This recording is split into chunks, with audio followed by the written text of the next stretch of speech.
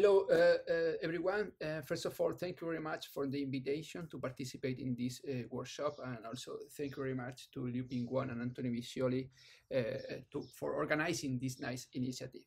So in this talk, we will discuss about feed-forward control and some tuning rules that can be used to improve the, the, the performance of this uh, control approach. This is the outline of the presentation, where I will first start with a short introduction about the the motivation of the uh, of this talk. Then I will go through uh, some examples to show the advantages and disadvantages of feed-forward control. In section three, I will present some new tuning rules that we have developed to improve the performance of, of this control approach. And then in section four, I will uh, present some indexes that can be used to quantify uh, when feed-forward control is useful to be used or, or, not. And I will end with some uh, conclusions. Well, as uh, is well known, uh, uh, disturbances are external signals that affect to the process output and moves away from the reference. Uh, these signals cannot be uh, manipulated and sometimes we can measure them and some other times we cannot measure them. In this case, uh, in this talk, we consider that we can measure the, the disturbances as is typical in, in process industry. Uh, well, this is the feedback control loop that we will use along the presentation where we will call PD to the transfer function relating the process output with the disturbance signal and PU to the transfer function relating the process output with the control signal. And we will have a feedback controller uh, that in our case it will be a PID or a PI controller in most of the cases. We will use a step-like uh, disturbance signal uh, in this presentation, but uh, the results can be extended to some other type of disturbance signals. Then when a disturbance arrives in the control loop, in a feedback control loop, a typical response that we get is the following. Uh, once the process output is affected by the disturbance, the controller starts to react and uh, try to reject the disturbance effect, making possible that the process output goes back to, to the reference. As we can see, it takes some time, and the reason is because the feedback uh, control loop scheme uh, is a reactive control approach in such a way that the controller uh, uh, changes the control signals once the process output has been modified by, in this case, an external disturbance. In the case of the classical feed-forward control uh, approach, the idea is to avoid this uh, in such a way that uh, uh the control signal is modified uh, before the process output is affected by the disturbance. Uh, in this way, is able with this scheme we are able to remove the the disturbance effect before the process output is uh, uh, modified. The idea is very simple. As we can measure the disturbance, we can use this information through a new controller, which is uh, called a feed-forward compensator, and we add this information uh, to the control signal. So according to this scheme, we can calculate the closed loop uh, transfer function relating the process output with respect to the uh, disturbance signal is this one you can see here. So if we can, if we want to uh, uh, remove to eliminate the disturbance effect, we need to make this term equal uh, to zero. What leads to a feed-forward compensator transfer function like this one. Well, so we can calculate the feed-forward compensator by dividing the uh, by dividing PD over uh, uh, PU. So this is very simple. Uh, it works uh, very well in such a way that if we implement this control scheme, we can completely remove the disturbance effect. And this is the, the, the, uh, the typical uh, uh, approach that, that, that, we teach to our students or that we can find in most of tech uh, books. However, in, it's interesting to see that in order to calculate the feed-forward compensator, we need to obtain the inverse of PU. And this is not always uh, possible and sometimes uh, is not realizable for several reasons, uh, like those that you can see in the slide because of the delay, delay inversion problems, unstable server, integrating poles, and so on. Then a classical uh, solution uh, for this problem is just to implement only the realizable part, or in practice, in practice is also common to implement the static uh, feed forward just by dividing the, the gains of the two transfer functions, uh, PD over uh, PU. So in this case, as we cannot uh, perfectly reject the disturbance, uh, we usually obtain a response uh, like this. Of course, uh, uh, we improve a little bit the, uh, the response with respect to the feedback, classical feedback control loop, but now we get an strange overshoot and the response is deteriorated.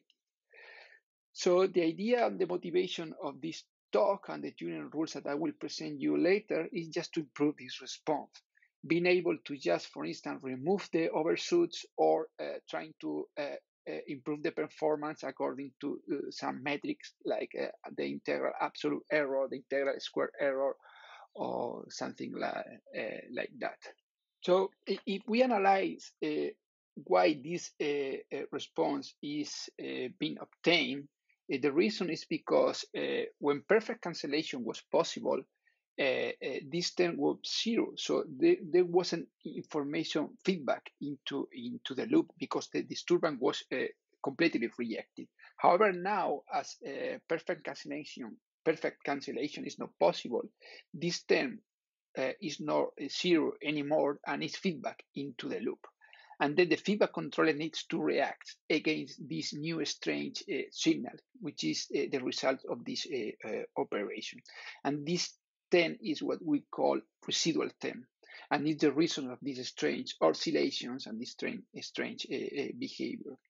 So uh, before, when perfect cancellation is was possible, we we typically designed the feed forward compensator in open loop and the feedback controller according to any uh, well-known tuning rule, and we did it separately. However, now when perfect cancellation is not possible, we need to do it together. We need to inform each other about this, this problem. So then, uh, according to this analysis, uh, about nine, ten years ago, we started to, to, to research in this topic and we realized that uh, there wasn't uh, so much information about this problem in the, in the literature. Only a few textbooks mention a little bit the problem uh, there was wasn't any tuning rule uh, about that. Only some uh, uh, uh control schemes modifying the classical control approach. And for that reason, we started to work in, in, in, this topic and to develop the, the tuning rules I'm going to present you now. First, I briefly present the feed-forward control problem with a couple of examples to show the perfect cancellation and non perfect cancellation results. And then let's consider the feed-forward uh, control approach with the equation for the feed-forward compensator. We will use the feedback controller as a PID or a PI controller. And for this first analysis, uh, we will use four different feed-forward compensator uh, structures. These uh, four cases for static, static with delay, lag, and lag with time delay. So we assume that PU are PD as first order system with time delay, and according to these uh, transfer functions, we can calculate the four different structures for the feed-forward compensator that we mentioned uh, before. So let us start with a first example where perfect cancellation is possible. By uh, we can see we can divide PD over PU without uh, any problem. And we will see that only in this case, which is the one uh, using the whole information of the process dynamic, we can reject completely the, the, the disturbance effect. In this case, the PI controller has been tuned according to the AMIGO uh, tuning rule. So here is the result. In the left part, uh, we have the re simulation result uh, for the open loop case, which means that the feedback controller was disconnected. And in this case, uh, the whole control approach was used, combining both feedback and feed-forward uh, controller.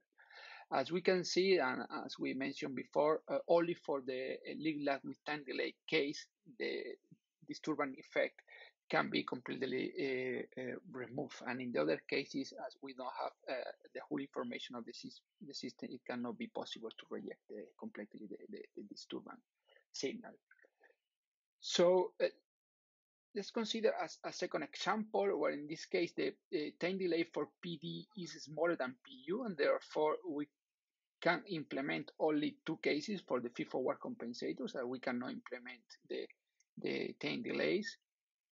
And let's use the following uh, uh, transfer functions for this example. So we can see the, the time delay in, uh, in PD is smaller than in PU.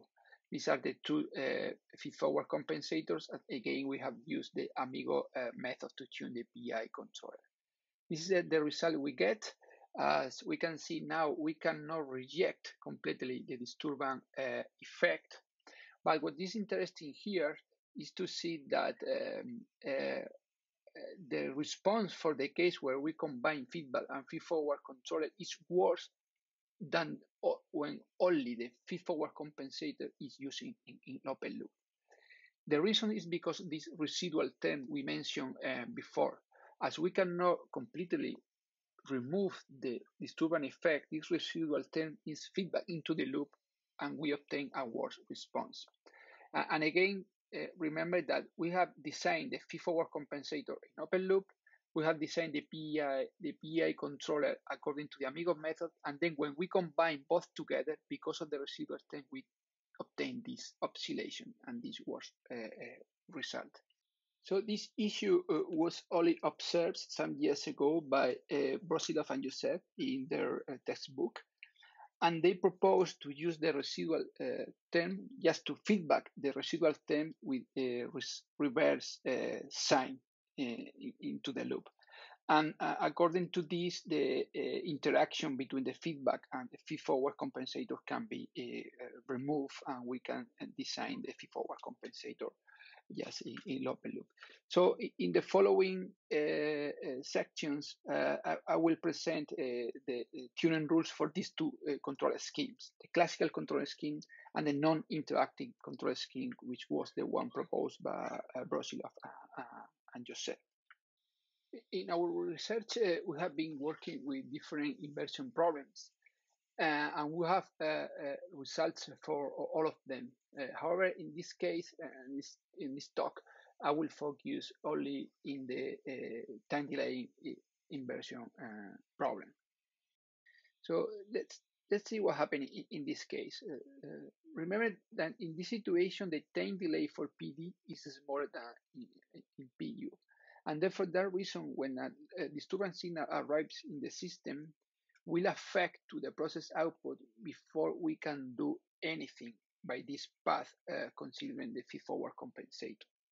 We can see uh, this uh, uh, result better graphically.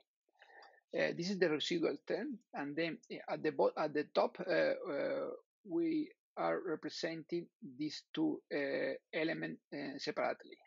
In green is PD, and in blue is the eh, the combination of the feed-forward compensator uh, uh, PU.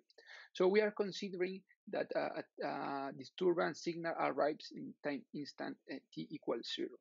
And here at the bottom, uh, we see the, the whole response, which is the difference between these between these two terms. So as we can see, when the uh, disturbance uh, arrives, uh, PD starts to react. So during this time, we cannot do anything, and this period, this time, is the difference between the time delay of PU and PD. And then when this time passes, we can start reacting with the uh, feed-forward compensator trying to reject the disturbance and being able that the process outputs go back to the steady state. So uh, we cannot react in this uh, period of time, but we we can modify the feed-forward compensator and the shape of this then being able to modify the final uh, uh, uh process uh, output. And this is the idea that we will do using the, the, the different tuning rules that I will show you in a while. And at the same time, we were able to use the effect of the feedback uh, controller into the, the, the process uh, output. Then uh, the idea is just to propose uh, tuning rules for two different situations. Uh, in the first case, we will use the, uh, the classical feed-forward control approach. And in this case, we will be able first to propose new tuning rules uh, considering the interaction between the feedback and the feed-forward compensator, and we proposed this new solution to consider that interaction we will also propose uh, tuning rules to uh, optimize the performance of the process output. And then in the second approach, we will use the uh, non-interactive control uh, scheme. And as in this case, uh, there is no there is no interaction between the feedback and feed-forward controller. We will focus only just in uh, in to obtain the tuning rules to improve the, the, the performance. So let, us start with the first uh, approach where we will use the classical feed-forward control scheme. So remember that we assume first order transfer function for PD and PU we will use uh, a PI controller as a feedback controller and a lead-lag uh, uh, transfer function for the feed-forward compensator.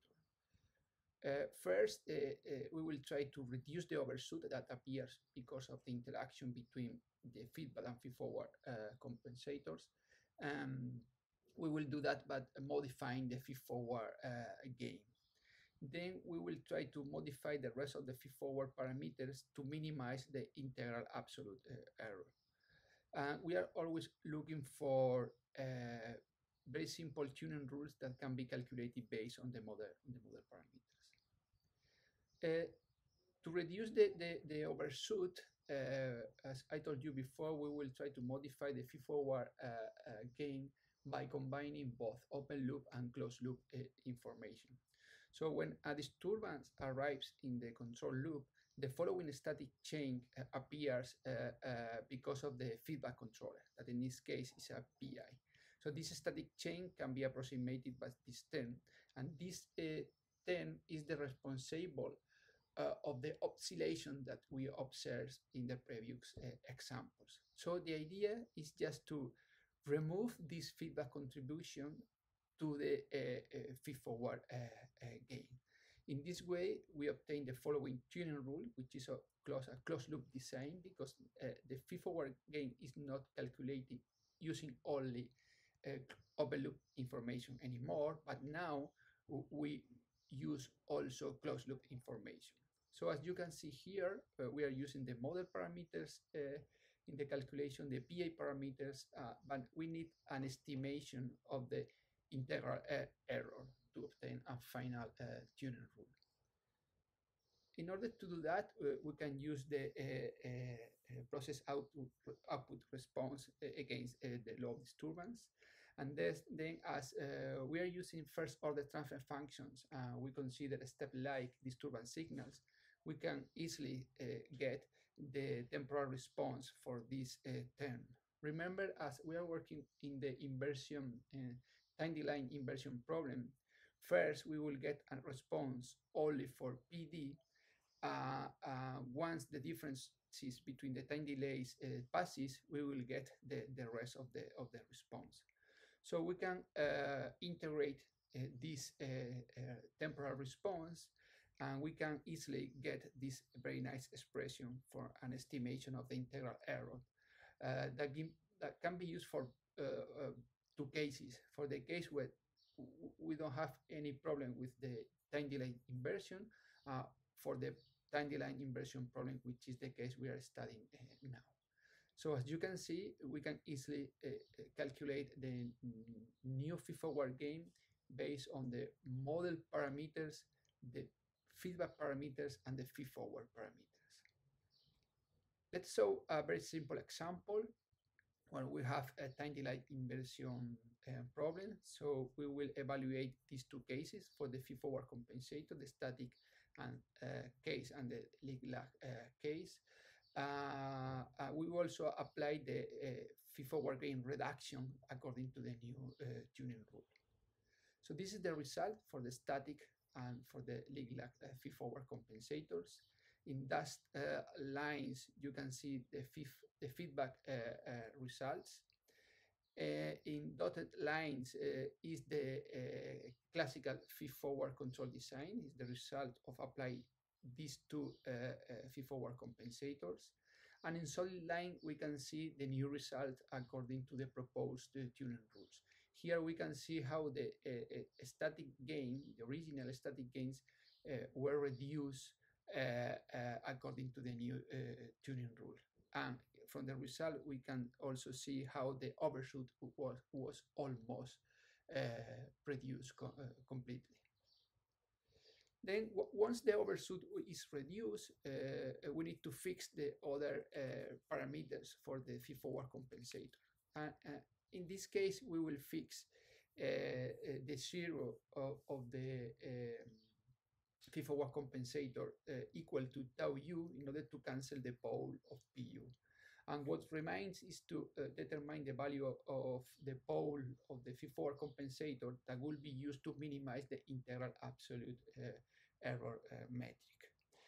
So in order to consider this metric, we will separate the response in two parts uh, from time zero and, until time t zero, which is the time where the output uh, crosses the set point, and then from this time instant until infinity. Then we can use again the temporal response that we got before, and we can integrate uh, according to the same procedure uh, uh, this temporal response in the three different um, parts. And at the end, we obtain this very simple expression, the, which depends of the model parameters and the feed-forward controllers. Uh, uh, and then if we minimize this expression, we uh, obtain this very nice equation uh, that allows us to determine the value of the pole for the feed-forward compensator that allows us to minimize the integral absolute error. And this is the final uh, result where we have two options when there is no uh, uh, any inversion problem at all or, or when we have uh, the inversion problem. As you can see, when we have the inversion problem because of the time delays, uh, what we do, what we have, have to do is just to reduce the, the pole uh, the classical pole of the feed-forward compensator by this expression, which depends on the differences between the time delays between PD and PU. So we've applied this new tuning rule for the feed-forward pole uh, to the um, to the previous uh, example. Uh, we obtained uh, uh, this result. here we can see the, the feedback result just without feed-forward the classical uh, feed-forward uh, uh, result. So in that dot line is the result when we only apply the, uh, the new tuning rule for the overshoot reduction. And in solid line is the, the, the, the new tuning rule combining both the feed-forward gain reduction and the uh, uh, new tuning rule to fix the pole and minimize the integral absolute error. As you can see, the performance is considerably improved. And here we have a comparison uh, uh, of the integral absolute error for the different cases. We can see how uh, it's improved uh, quite a lot when we combine both the feed-forward uh, and pole uh, tuning rules. So finally, this is a summary of the guideline we, we propose. we can set the, the, the, the zero of the feed-forward compensator to cancel the, the, the pole of PU then we can calculate the pole of the feed-forward compensator according to the new tuning rule that we should accelerate the, the response to minimize the integral absolute error. And then uh, we will reduce the feed-forward gain to uh, uh, uh, uh decrease or, try to eliminate the overshoot in the response. Well, uh, let's continue with, with the second approach. Remember that we will use the non-interactive uh, control structure where uh, now uh, the interaction between the feedback and feedforward controller is is removed because we are we feedback the residual term in, into the loop. Uh, therefore, uh, the idea is just to, uh, we don't need to remove the overshoot according to the feed-forward gain. we need just to adjust the, the pole of the, the feed-forward compensator to reach any objective. Uh, we will try to, to get three different rules. One is the, the is, is exactly the same that we got in the previous uh, approach to minimize the integral absolute error, and we will uh, get a, a new new two tuning rules uh, uh, to remove completely the overshoot and also to minimize the integral square error. Uh, again, we look for very simple tuning rules based on the model and the model parameters. So I will as we don't have any interaction between the uh, feed-forward uh, feedback control loop, we will focus in the open loop response, and then we we will analyze the residual term because of the non-perfect can cancellation. And this is the expression that we have because we are using first order transfer functions. So uh, if we take a look to the residual term, uh, we can observe that if we accelerate too much the, the, the pole, the time constants on the feed-forward compensator, uh, we, we can provoke uh, uh, some oscillations in the final response. And it's because the feed-forward, uh, this, this part of the, of the response, which is given by the feed-forward compensator, is, is too fast. So uh, uh, one possible uh, tuning rule can be to provide a, a, a, value for the time constant of the feed-forward compensator to remove this overshoot completely. This can be easily done uh, if we try to uh, to make that the settling time of these two transfer functions of these two terms are uh, identical.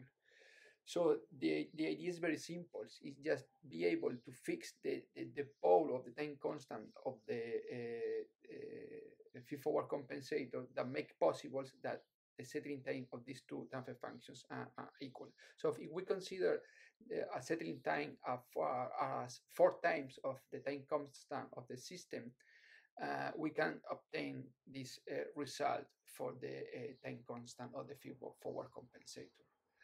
So it is interesting if we take a look to this uh, rule It's very interesting because it implies a, very, a natural limit uh, on the performance. Uh, and if we try to, to choose a, a time constant of the feed-forward compensator larger, larger of this value, we will get a, a worse uh, performance because we will compensate the response uh, very late.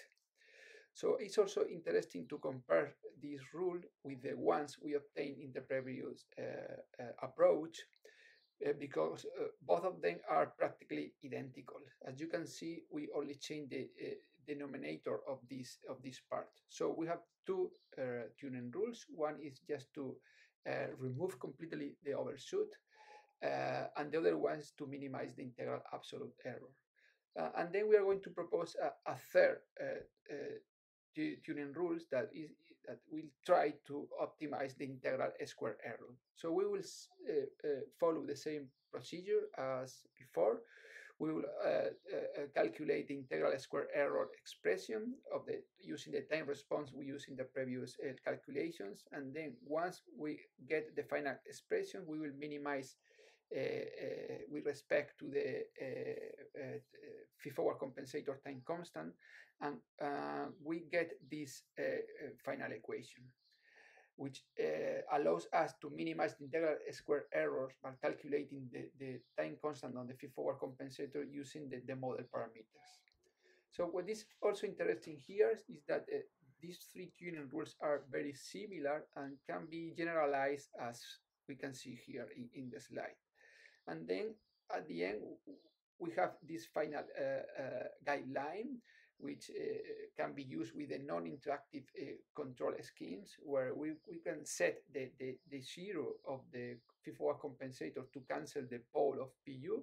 Then we will set the feed-forward gain as typically done because here there is no interaction between the feed-forward uh, feedback compensator.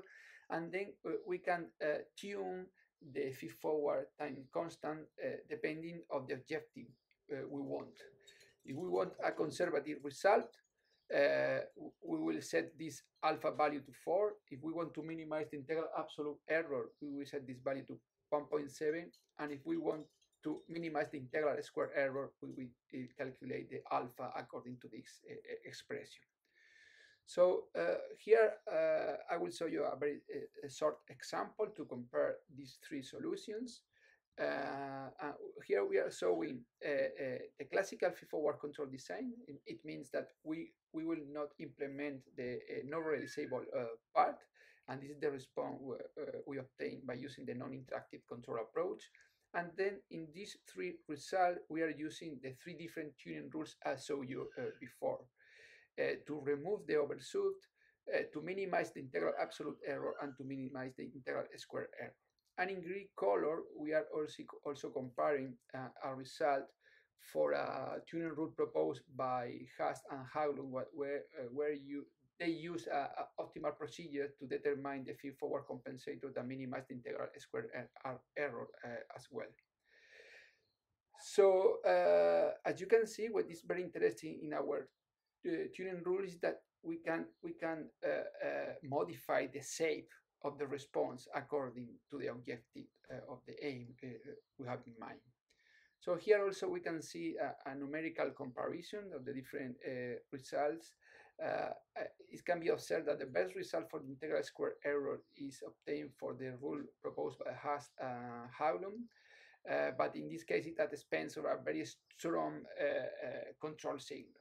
Uh, here, I, forgot to, to mention you that we are uh, not only given information about the performance metrics, but also some information about, about the control effort according to this to these uh, uh, uh, calculations. And also, this is the initial peak in the control signal. So we can see here that considering all, all the results, the, the best uh, tuning rules uh, with a, a good trade-off between performance and control for the ones uh, by minimizing the integral absolute error. Then let me show you some of the performance indices that we have obtained to uh, quantify when it's useful to use feed-forward uh, feed-forward control approach. And those indices uh, will be calculated based on the process parameters. The indices we will be proposed for the two feed-forward control approaches that we have analyzed in this talk. And we uh, continue uh, with the assumptions that uh, we work with first order transfer functions, a lead-lag compensator for the feed-forward. we will use a PI controller, and we will consider, in this case, the lambda tuning rule. Uh, this is the index we are proposing. As you can see, we are comparing the integral absolute error of the feed-forward control approaches with respect to the integral absolute error of the feedback uh, loop. So according to the to this index, when the index approaches to one, means uh, that uh, uh, we gained a lot by using the feed-forward control approach. But when it closes to zero, it means that we don't gain so much by using the uh, feed-forward control scheme. So in the following slides, I will show you briefly how we can estimate the values of the integral absolute error for the different control schemes in such a way that we can calculate this index in advance before testing the, the control approaches. So I, I'm not going to, uh, to into detail. So uh, we obtain a, a, an estimation of the integral absolute error for the feedback control uh, loop just without a feed forward. This is the expression we get that can be calculated according to the model parameters and feedback controller. We, do the, we did the same for the classical feedback control scheme where we got this expression with two different solutions and we did the same for the non-interactive uh, feed-forward control uh, approach. At the end, we had three different estimation estimation for the three different control approaches where we were able to uh, calculate these estimations estimations based on the model parameters and the uh, controller and feed-forward parameters. So these estimations can be used to calculate the uh, proposed index in such a way that we can determine in advance when is useful to use a feed-forward compensator and also to, to decide which of the two control uh, approaches are, are best to be considered. So let me show you some examples. In this first example, uh, we are going to use the following transfer functions, and we will we are going to compare the three cases: feedback and the two feed-forward control uh, approaches.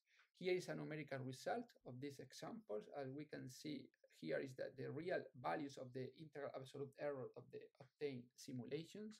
And here are the estimations according to the previous uh, equations I showed you. As you can see, the estimations are pretty good. Here is the, the, the index uh, uh, for the two feed-forward control uh, schemes, and we can see both of them are close uh, to one, which means that the, uh, it's useful to use feed-forward in this case, as we can see in the simulation. The improvement is, is very high. However, now we can try to accelerate the, the response for the feedback uh, control loop in such a way that now the integral absolute error is reduced from 12 to uh, uh, 4.5. And for that reason, the index is not as close to 1 as before. And for that reason, these values are smaller. Uh, as we can see also in the simulation results where this the feedback control response was, was improved. Finally, in the third example, we are going to we are going to compare two cases: a case where the load disturbance is fast, with the where the time constant is equal to the process time delay, and on the other case, with where the uh, disturbance is slower. In this case, the time constant will be 10 times the time delay of, of the process. Here we are comparing the indices graphically for the two cases. For in blue is the classical control scheme, and in red is the non-interactive control scheme. As we can see, uh, when we have uh, a, a, fast disturbance, uh, the non-interactive control scheme behaves better than the classical one. The classical one uh, doesn't work very well. However, when we have a slow disturbance, uh, the classical control scheme behaves uh, better than the non-interactive case. Here is the, the numerical result for these two cases, the slow cases, the, sorry, the fast case and the low case. Uh, we can see again the estimations for the integral absolute errors are really good. And according to the index, uh, indexes, we can see how uh, in the uh, fast case, the non-interactive control scheme be, behaves very bad. Uh, however, when we have an, an slow uh, disturbance, the, the classical control approach behaves better and the non-interactive control scheme. We can see that in the simulation. This is the fast case simulation. As is observed, the classical uh, feedback control scheme is really bad with a strong oscillation, oscillation because of the interaction between the closed loop, uh, sorry, the feedback and feed-forward compensator that we have analyzed along the, the, the talk. Uh, however, when we uh, have a slow disturbance, we can observe how the classical uh, feed-forward control scheme behaves uh, better. And this is because in this case, we gain uh, uh combining both feed-forward and uh, uh, feedback approaches, and we obtain a fast response. So according to these indices, we are able to determine when it's useful or not to use a feed-forward and also to compare the, the two existing feed-forward control schemes. So as conclusions, uh, we have proposed different tuning rules to take in consideration the inversion problems in the uh, feed-forward control schemes, tuning rules that were not analyzed uh, in the literature in the past. Uh, also, uh, uh, we compare the two available feed-forward control schemes.